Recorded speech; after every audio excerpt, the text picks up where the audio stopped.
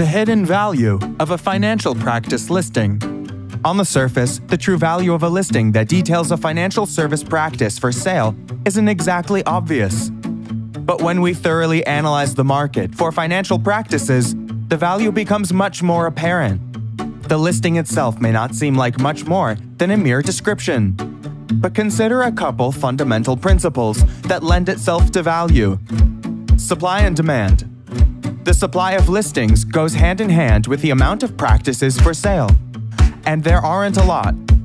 The demand for listings goes hand in hand with the amount of advisors looking to purchase a practice, and there definitely aren't a lot of them. In any case, high demand and short supply means a high price, and therefore, the value of a simple financial practice listing is actually quite high, at least in theory. Why is demand high? Why is supply low? What contributes to the value of the kind of information contained in a listing? Well, you'd really have to look at the market itself to figure that out. A recent study done by Fidelity Investments showed that two thirds of advisors lack a formal succession plan, which actually represents an 8% improvement since 2011. When the average advisor is 52 years old, most optimism regarding an industry wide response to the succession planning issue is mild at best.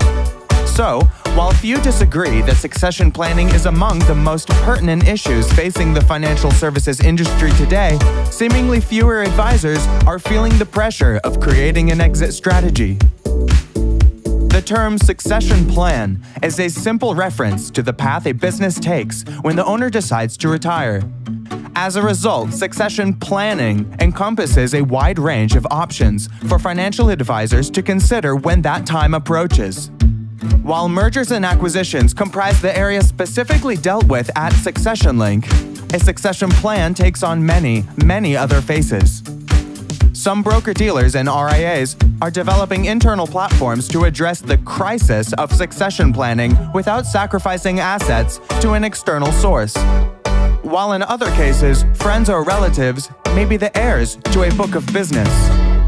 The point is, finding a financial service practice on the open market is rare. Few advisors have a succession plan. And among those that do, not all of them plan on selling their book on the open market. In other words, out of all of the advisors who should have had a plan in place a while ago, only a fraction of a fraction, yes, a fraction of a fraction, will sell their practice on the open market. Advisors looking to build their book through acquisition should take advantage of any opportunity they get to hear about financial practices for sale. The rare and infrequent use of a succession plan, bundled with the variety of succession planning options available, make it so that financial practice listings are fairly hard to come by.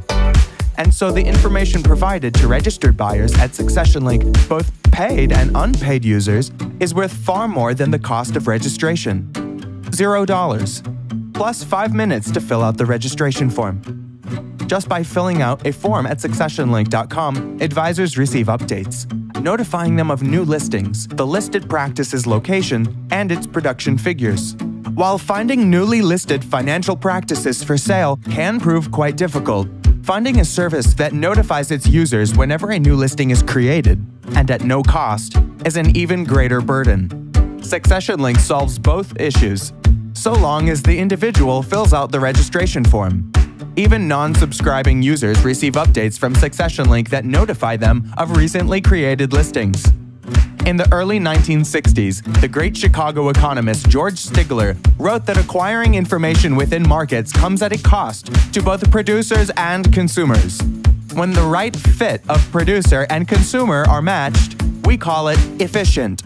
Unfortunately, it's not too difficult to decipher the relationship between the cost of information and matching efficiency. The more you pay, the greater matching efficiency becomes. When we apply this theory to the market of financial service practices, it works exactly the same. Buyers with limited information on available practices are less likely to acquire the practice that suits them best. Generally speaking, technology has greatly reduced the cost of acquiring information and has even improved matching efficiency. The extent of this effect is greater in more progressive and adaptive industries. Unfortunately, while financial professionals often use the latest technology, To analyze securities markets, the market for financial practices, the M&A industry, has been slow to develop. Succession Link does its part to foster M&A development by improving matching efficiency through the provision of detailed listings and advisor profiles, which allows buyers and sellers to connect through an online marketplace.